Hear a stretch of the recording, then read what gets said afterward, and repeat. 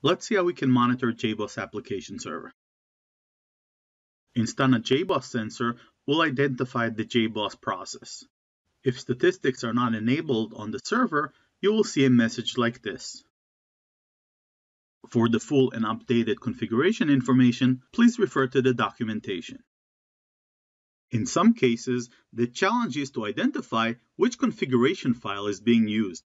In a standalone configuration, it will typically be standalone or standalone full or standalone HA. In this example, we're using standalone XML. But note that in a domain installation, we may be using domain XML.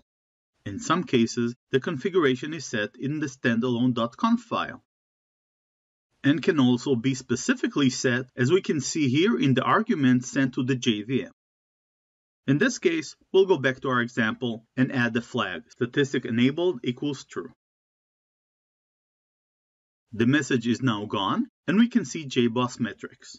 Please note that this is specifically for the JBoss metrics. Tracing will happen automatically with the Java tracer doing remote attached to the JVM.